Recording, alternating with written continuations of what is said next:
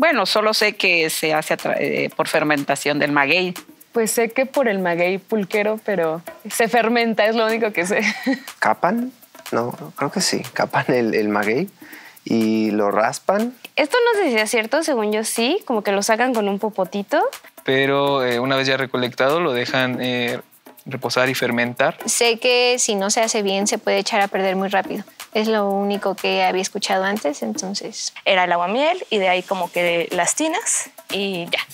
Estamos de regreso y muy de buenas porque la neta, hablar del pulque me está gustando mucho.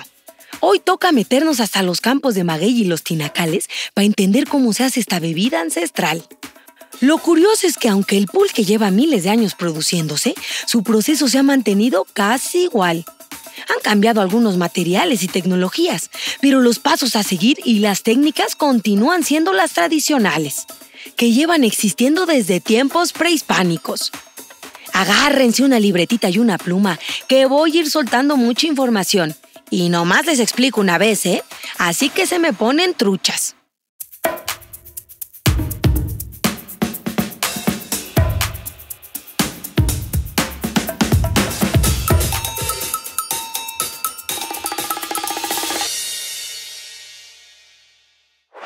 Si algo ya les debió haber quedado clarísimo para este punto, es que el maguey es de las plantas más importantes para nuestro país. Nos da de comer, nos viste, nos resguarda y hasta nos pone recontentas con sus bebidas, ya sean destilados o fermentados. Ah, chis, ah, chis, ah, chis. Pues, ¿cuál es la diferencia? Se preguntarán. Pero es que no es lo mismo un destilado como el mezcal, que una bebida fermentada como el pulque o el tepache. La gran diferencia tiene que ver con su proceso de producción. Para tener una bebida fermentada necesitamos tres cosas. Agua, azúcar y lo más importante, levaduras, que son los microorganismos que se van comiendo el azúcar y la convierten en alcohol y en gas. Ya parece clase de química esto, pero no se me espanten. Es importante entender cómo la bebida se vuelve ligeramente alcohólica y espumosa. Entonces, tenemos el aguamiel del maguey, la cual contiene los tres ingredientes necesarios.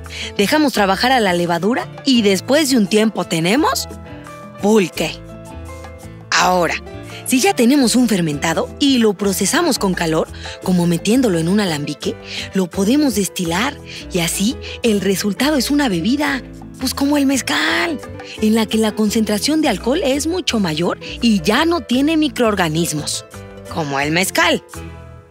Bueno, pues con todo esto claro, ya podemos empezar de lleno con el proceso del pulque pero la verdad es de que detrás de cada vaso de pulque hay un arduo trabajo, no de una, sino de infinidad de personas muy comprometidas con, con, el campo, comprometidas con, la comunidad, comprometidas eh, cada una de todas estas personas con sus trabajos y actividades diarias. ¿no?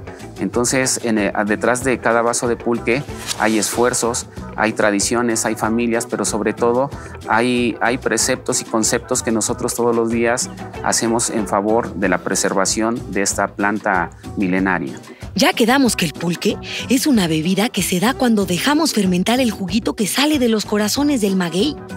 Pero para entender bien, bien, bien cómo se llega hasta aquí, tenemos que viajar un poco en el tiempo. Bueno, no un poco, un mucho, y regresar aproximadamente unos 10 años, a cuando el maguey es chiquito, chiquito, un hijuelo, o como le conocen acá, un mecuate. Los mecuates y no, no estoy hablando de sus amigotes, estoy hablando de los hijuelos del maguey. Se separan de sus madres y se plantan en un vivero. Ahí crecen durante un año para luego plantarse en un lugar definitivo, donde van a crecer por una década. Sí, sí, efectivamente. Diez añitos, más o menos. Y es que debemos entender una cosa. El tiempo es un factor importantísimo para el pulque.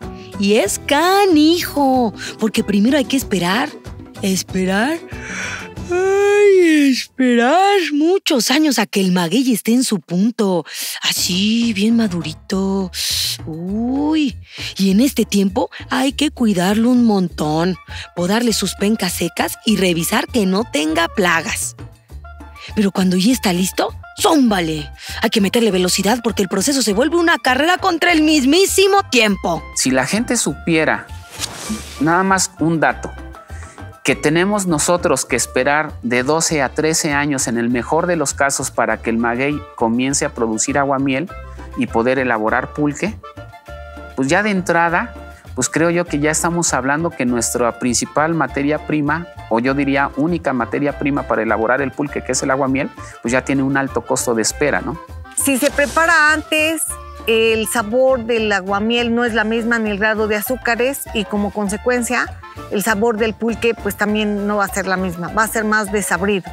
Los tlachiqueros tienen que... Ah, canijo. Yo ando aquí de habladora, diciéndoles cómo funciona el business y todo, y se me había olvidado lo más importante. Detrás de todo el proceso de producción del pulque están las personas que cuidan los magueyes, los preparan, los dejan listísimos para sacar el aguamiel y luego, por si fuera poco, la recolectan. Unos fregones. Las y los tlachiqueros. Tlachiquero es la persona que se encarga de recolectar el aguamiel todos los días de los magueyes y que lleva al tinacal, que es el lugar a donde se elabora el pulque, y que este personaje llamado tlachiquero es el, la persona que tiene y que, que cuenta con toda esa eh, pues conocimiento, pero sobre todo con toda esa sabiduría en el manejo y aprovechamiento de- del maguey, ¿no? El clachiquero, su principal función es el preparar el, el maguey para la raspa, el, el caparlo. Y en el- la plantación del, del maguey también, si ya hay dos, tres plantas juntas, hay que este, arrancarlas y buscarle su lugar para que cada una tenga su propio desarrollo y no se este, haga competencia entre de planta y planta. Ahora sí, los tlachiqueros tienen que preparar los magueyes para que empiecen a producir aguamiel y para esto primero los capan. Sí, escucharon bien, los capan. Pero no es como están pensando, no se me espanten. Así se le dice al proceso de quitarle el centro al maguey.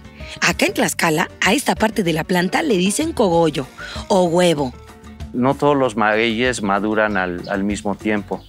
Eh, es, es a lo mejor una... mm, no es tan acertado o es una mentira cuando dicen es que el maguey este, eh, llega su, se puede aprovechar después de, de ocho años. Todavía aquí en, en Singilucan se conserva un- una, una actividad o un trabajo que lo realizan los capadores. Ellos son eh, las personas que, bueno, visitan los ranchos eh, cuatro veces, no, perdón, tres veces al año y ellos, bueno, andan recorriendo los metepantles y ellos son los que tienen ya esa habilidad de ver el maguey que ya está maduro, ¿no? Entonces en ese momento el, el maguey es capado para que obviamente ofrezca una buena calidad de aguamiel. El magueycito, el magueycito siento que nos avisa, nos avisa él cuando ya, ya dice, cápame.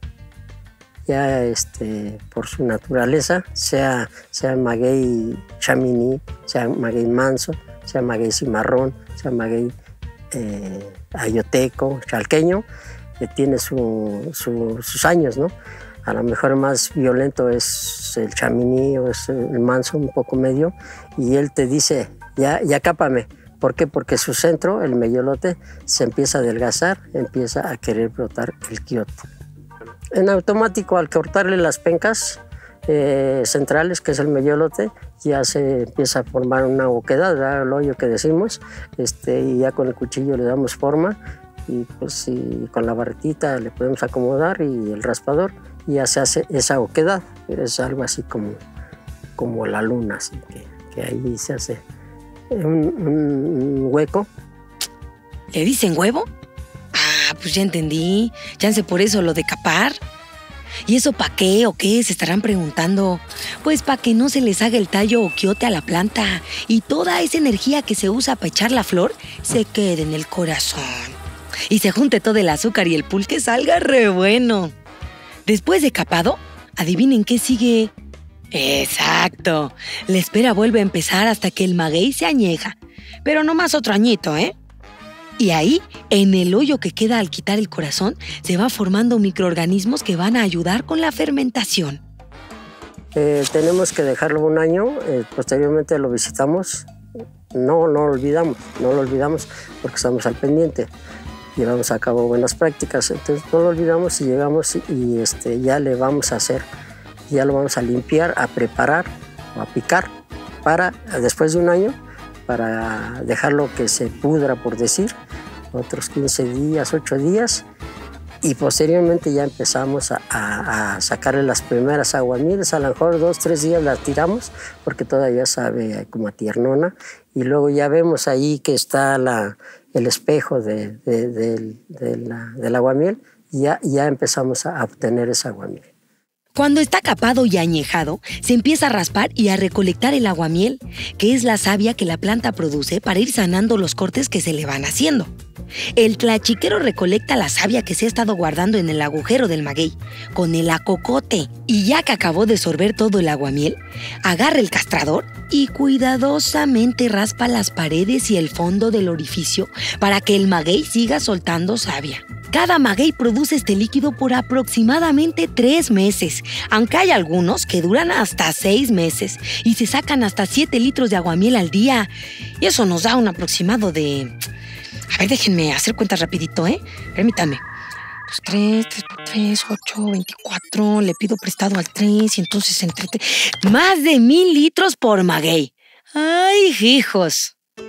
Ahora, esta estimación varía muchísimo de maguey a maguey y depende de muchos factores externos. Entonces, esto es lo más cercano a una cifra exacta. Los clachiqueros tienen que recolectar el aguamiel de dos a tres veces al día, todos los días, porque si no, se fermenta dentro de la piña y se nos fue el pulque. Así es, hasta en Navidad hay que estar ahí dando las rondas. El tlachiquero, pues diario, diario no hay, no hay días festivos, no hay vacaciones. ¿Por qué? Porque el maguey lo, dice así. Diario nos está dando trabajo de, desde, desde que amanece al anochecer, porque amaneciendo hay que ir a raspar, sea que esté lloviendo, esté granizando, esté nevando, hay que venir a estar con el maguey y en la tarde igual. Entonces creo yo que nosotros somos eh, los que los primeros responsables en dignificar este oficio y en reconocerle al tlachiquero como el personaje más importante en esta cadena de producción. Es rete interesante ver cómo han cambiado los instrumentos para raspar y recolectar pulque. Todos han ido adaptándose para cumplir mejor con su propósito y para durar más. Por ejemplo, el acocote, que es con el que se recolecta al principio era una semilla, pero ahora se hace de fibra de vidrio. O ya hay algunos tlachiqueros muy creativos que se avientan unas con una botella de refresco y una manguera. La cosa es que funcione para lo que es. Ya que se recolectaba, se vaciaba en los odres, que son unos recipientes de cuero o de madera que se ponían en las espaldas de los burros.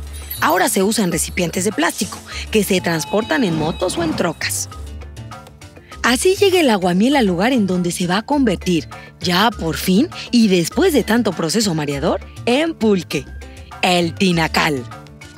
Ya de lo que sigue, pues ya se, se recoge el aguamiel, se, se echa a fermentar, se fermenta solita, pues a las 12 horas ya se fermentó y es pulque.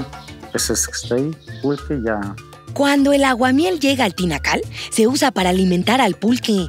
Esto quiere decir que se vacían las tinas que ya tienen cierta cantidad de pulque para que el proceso de fermentación ocurra más rápido. Estas tinas al principio eran de cuero, pero ahorita la mayoría son de madera o de fibra de vidrio. Cabe aclarar que no se le agrega nadita externo para cambiar la fermentación.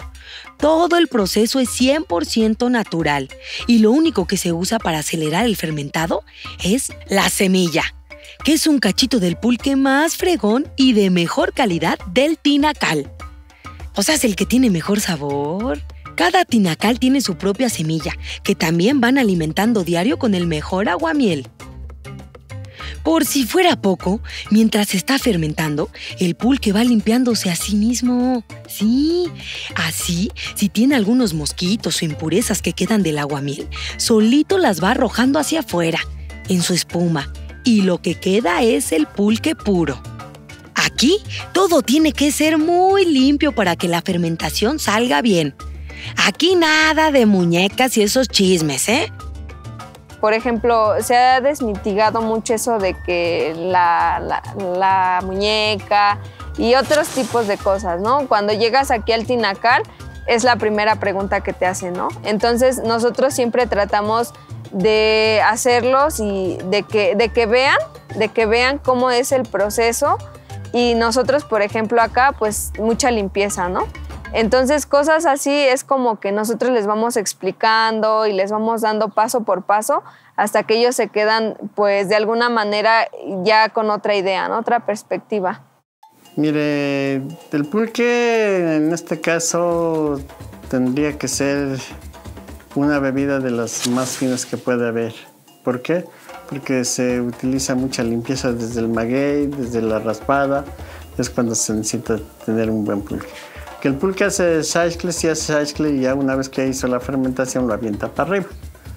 Yo nomás quiero decirles una cosa, que quede bien claro. Si uno, por decir, ve uno que se viene el agua y dice, no, híjole, estoy comiendo y ya se va a venir el agua. No, pues por no lavarme las manos me voy así, ¿no? O porque estoy agarrando grasa, no, pues nada más me las limpio y ya. No, debe uno de lavarse bien las manos, porque eso no se lleva con grasa, ese no se lleva con ácido, ese no se lleva con, como quiera así, con, con suciedad. Yo no sé por qué han criado ese mito de que al pulque hay que echarle suciedad para que lo consuman. Eso no es cierto. Bueno, yo de mi parte no, ¿eh? Allá, dijo, como dicen que dijo por ahí uno de malas mañas, allá tú, si te lo tomas ahí en la ciudad, allá sí quién sabe qué no te darán. El proceso dura más o menos 36 horas, pero para cacharle bien, la o el mayordomo es quien va revisando las tinas y cambiando el pulque dependiendo de su estado. Y así define cuando ya está listo para tomarse. Ahora, del mayordomo, su función es que en el momento que el mayordomo recibe la, la aguamiel, si son dos o tres clachiqueros los que se se encargan de la recolección del maguey, el mayordomo, mm, más que nada, se encarga de la calidad del, del pulque. Cocote, sí que, no, eh, o sea, se- eh, era así, ¿no? Este, y también sin, sin, sin dejar a un lado la parte religiosa, ¿no? Que cuando se trataba de ese respeto, ¿no? En el momento que se hacía un corte de punta, ¿no? Cuando la punta ya se iba a pasar a otra tina, pues la parte religiosa, ¿no? El rezo que hacía el mayordomo y que todos los que estaban alrededor, pues lo acompañaban en ese, en ese, en ese ritual. Y ya, listo. De las tinas una puede agarrar su jarrita y servirse una rica jícara de pulque fresquecito. Y espero que un día se vayan a dar una vuelta a su tinacal de confianza, porque ¡ay, hijo! ¡Qué rico es el pulque recién salido de la tina! Así como sale se le llama blanco, natural o pulque solito. Pero ya sabrán ustedes que cuando se trata de preparar y combinar bebidas, las y los mexicanos nos pintamos solos. Al pulque se le pueden agregar un chorro de ingredientes para saborizarlo. Pero para ya no marearles con más información, eso lo vamos a dejar para nuestros siguientes episodios. Así que no se los pierdan, que van a estar, hijo, re buenos. Así como este pulquito. ¡Ay! Írenlo nomás. Se ve re bueno. Su saborcito es muy característico, pero varía mucho dependiendo de cada tinacal, de la temporada del año en la que se fermenta y hasta del momento del día que se tome. Por ahí dicen que el pulque más rico es el que se hace en temporada de frío. Y ahora sí, para que no nos anden diciendo, para que no nos lo cuenten, no nos queda de otra más que tomar pulque todo el año. Para ver si esto sí es cierto, ¿no? Puro interés científico, que no. de alrededor del pulque y de cómo se elabora? No, ninguna. Solo sé que hay una confusión entre el aguamiel y que luego que el pulque y el maguey, que sí es como un maguey muy específico. Sí, he escuchado cosas, pero no como que sea lo primero que escuche. Más bien, si alguien me ha dado pulque, te dice que hay mitos alrededor de ellos. No es que los haya escuchado antes, pero sí es algo que te dicen así de no, pues es que dicen que lo fermentan, este, no sé, escupiéndole o que no tiene higiene y que por eso se crean los microorganismos, bla, bla. Pero en general no es algo que así de primera mano algo, alguien me dijera que es así y que realmente lo crea.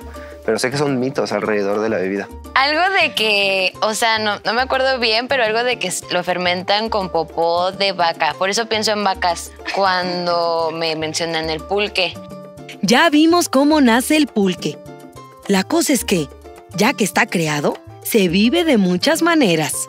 Es muy curiosa la diferencia entre cómo se toma en donde se produce y cómo se toma en las grandes ciudades. Los lugares, los momentos y los ambientes son rete diferentes. Pero eso sí, en todos lados, el mundo del pulque es bien pintoresco y es de esas cosas que tienes que ver para creer. Vámonos entonces a verlo. ¡Salud!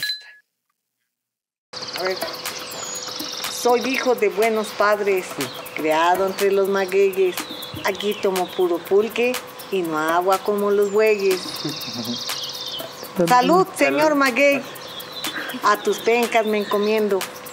Cúrame de esta cruda y otra que me estoy poniendo. Salud. Salud.